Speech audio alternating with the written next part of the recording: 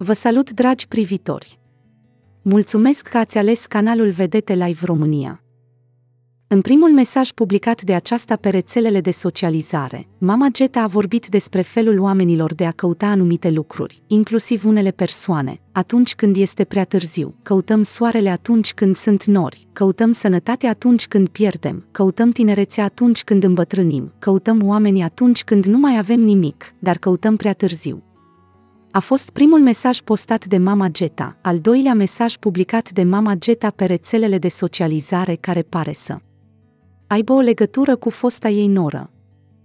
Carmen de la Sălciua a fost că trebuie să stea departe de oamenii care nu recunosc că au greșit, stai departe de oamenii care nu recunosc niciodată că au greșit și care te fac să simți că este vina ta. A fost al doilea mesaj pe care mama Geta l-a postat. Mama Geta spunea că artista de muzică de petrecere l-a înșelat de multe ori pe culiță sterp, dar inclusiv cântărețul nu i-a fost fidel artistei în timpul relației lor.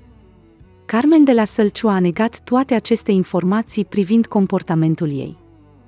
Carmen de la Sălciu a mărturisit că este sătulă de toate afirmațiile care se fac despre ea și a susținut că multe dintre ele sunt doar minciuni. După ce Culiță Sterp a vorbit despre relația lor și mama Geta a făcut și ea declarații pe marginea acestui subiect.